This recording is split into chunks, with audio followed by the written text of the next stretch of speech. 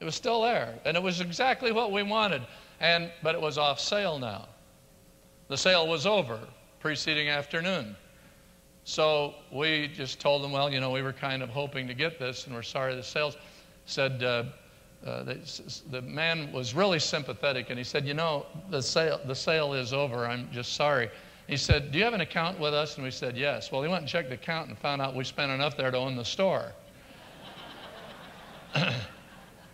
so he came out and he said, you know, I checked with the manager, and he said, he says, for you guys, the deal's still on. So we got it. I'm going to tell you, the Lord is saying to Abraham, Abraham, I want to tell you, you may feel that you're late for this, that it seems out of the picture for you, but God's saying the deal's still on. Now that's.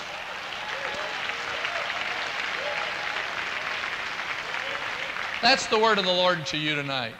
There's people, LaMar, this is what the Lord put in my heart. There are people who are devoted and dedicated people, but in our human failures, sometimes outright sin, though it's been confessed and it's been forgiven, it's not people wallowing in some kind of pathway of ongoing carnality, but people, though they've been forgiven, God has been their shield and reward. For them, the reward was the forgiveness. And God says, feel rewarded with the forgiveness, but also know the deal's still on. Hallelujah. Where we've gone through turf wars and our flesh has shown itself the Lord says, Feel rewarded with my grace that overshadows your weakness and your vulnerability by reason of your human inadequacy. But I want to tell you, the deal's still on.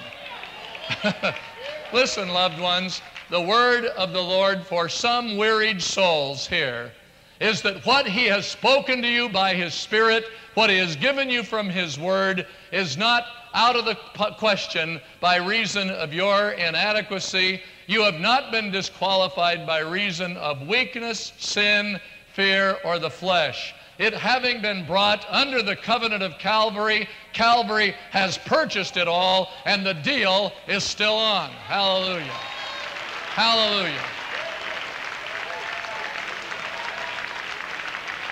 And I want to invite you tonight to reach out and embrace that of the love of God. This house has been full of people who this evening have been reaching their hearts to the Lord, I love you.